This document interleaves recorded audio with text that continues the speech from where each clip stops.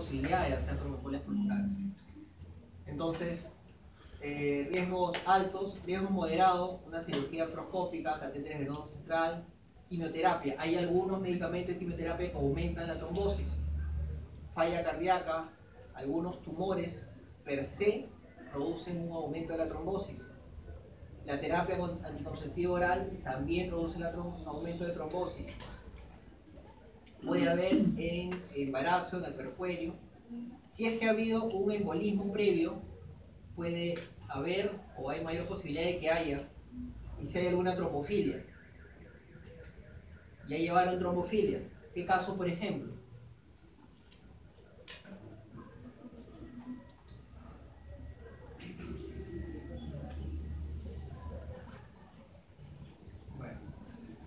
tienen acción de CS, y cosas que ustedes deberían recordar mejor que yo. Ahí tiene que haber mucha relación, o sea, el traumatólogo tiene que ir, si no conoce algún aspecto, tiene que solicitar apoyo. Porque, por ejemplo, si tengo un paciente anciano que voy a, a tengo una fractura de cadera y le voy a colocar una prótesis de cadera, voy a tener mucha posibilidad de que ese paciente haga una trombosis. Y si aún más ese paciente tenía cáncer, eh, un cáncer de mama, y le estoy aumentando o, y estoy con algunos medicamentos, eh, terapia hormonal que se le da a pacientes con por ejemplo, aumenta la trombosis. Entonces necesito ayuda, necesito que un hematólogo nos ayude con la, con la medicación que le vamos a dar. La prevención, medidas antiembólicas, la anticoagulación profiláctica, lo más común para nosotros son las heparinas de bajo peso. El tratamiento, la estabilización, anticoagulación plena, fibrinolisis, que esto ya se hace normalmente por parte de hematología en cuidados intensivos.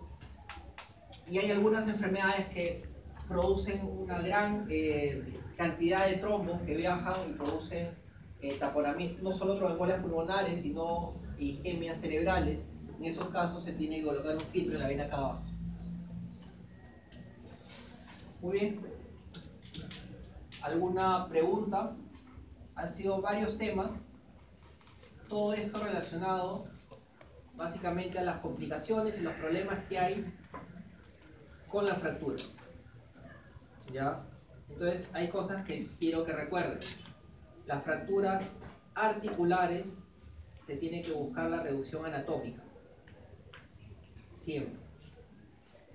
Las fracturas extraarticulares no necesariamente. El objetivo es restaurar los ejes.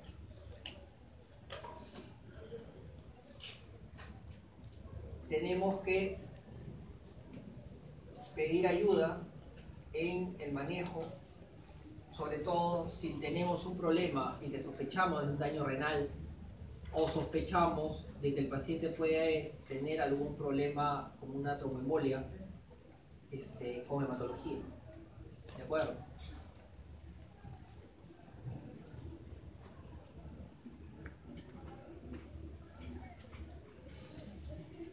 Muy bien. ¿Alguna pregunta, comentario? mala experiencia.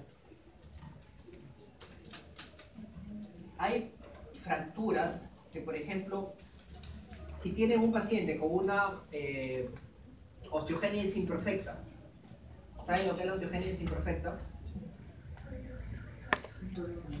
Es un problema genético en el que el niño no va a producir hueso adecuadamente por una alteración del colágeno. Hay varios tipos, incluso el tipo 2 es mortal. Este, ¿Ustedes se acuerdan en el Congreso, no en este que se ha cerrado, sino en el anterior, había un comentarista deportivo que era congresista, el Angelito, él tiene osteogénesis imperfecta. Y esas es no solo el tamaño, las facies, todo es característico. Este chico, digamos, pasó sobre eh, la valla habitual de sobrevida el tipo de osteogénesis que él tenía, o que tiene. Y ese tipo de hueso cuando se fractura es difícil que consolide, o en todo caso consolida, pero normalmente consolida en forma viciosa. Y ahí que ustedes tienen pacientes con osteogénesis imperfecta, muchos tienen la cadera en varo. No en la posición normal, sino en varo. ¿Por qué? Porque han habido microfracturas, microfracturas y se ha ido deformando. No solo, no solo la cadera, el eje del fémur, hay rotaciones, etc. Entonces, eh, se dan muchas situaciones. Alguien dice, ah, pero yo quiero ser nefrólogo, no me interesa eso. Sus pacientes con osteodistrofia renal también van a tener el mismo problema. Se va a comportar como una osteogénesis imperfecta.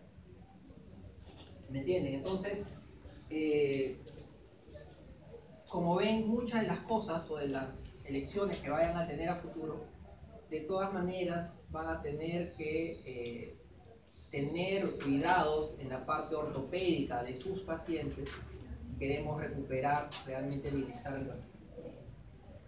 Ya, vamos a... Voy a pasar lista los...